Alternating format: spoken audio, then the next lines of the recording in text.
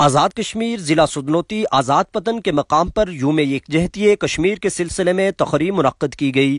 تقریب کے مہمان خصوصی میونسپل کمیٹی کوہٹا کے چیئرمین ظہور اکبر تھے۔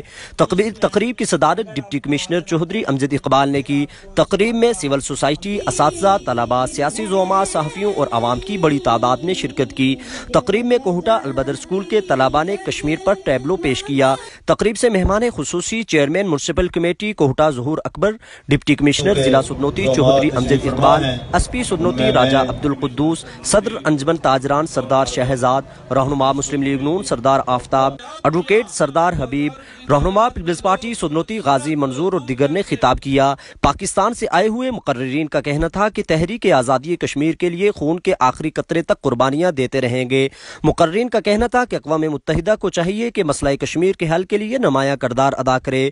مقررین نے شرکائے محفل سے خطاب کرتے ہوئے ہوئے کہا ہے کہ اقوام متحدہ کی ذمہ داری بنتی ہے کہ وہ مسئلہ کشمیر کو اپنی قراردادوں کے مطابق حل کرے اور کشمیریوں کا حق حق کے آزادی جو کسی بھی قوم کا بنیادی اور اولین حق ہوتا ہے، اقوام متحدہ اس میں اہم رول ادا کرے۔ اس موقع پر مقررین نے خطاب کرتے ہوئے عالمی دنیا کی توجہ کشمیر کے اندر بھارتی مظالم کی طرف کروانا چاہیے ہے کہ کشمیر، کشمیری ستر سالوں سے ہندوستان کے ظلم و بربریت کا نشانہ بن رہے ہیں۔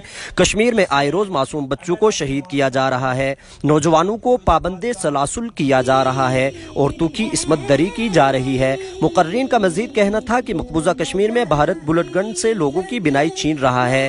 مقررین کا کہنا تھا کہ اقوام عالم کی خاموشی کشمیریوں کو اپنے دفاع کے لیے ہتھیار اٹھانے پر مجبور کر رہی ہے۔ مقررین کا کہنا تھا کہ ہم کشمیر کا فوراً حل چاہتے ہیں، جو کہ پونے دو کروڑ انسانوں کا مسئلہ ہے۔ ڈپٹی کمشنر چودھری امجد اقبال کا کہنا تھا کہ آزاد کشمیر پاک فوج کے ساتھ شانہ بشانہ کھڑے ہیں۔ مہمان خصوصی ظہور اکبر نے اکبر کا کہنا تھا کہ بھارت اپنی ظلم و بربریت سے کشمیریوں کے جذبہ حریت کو کم کرنے کی ناکام کوشش کر رہا ہے۔ لیکن کشمیری ہمیشہ کی طرح پاک فوج کے ساتھ ہمت، جذبے و ولولے کے ساتھ کھڑے ہیں۔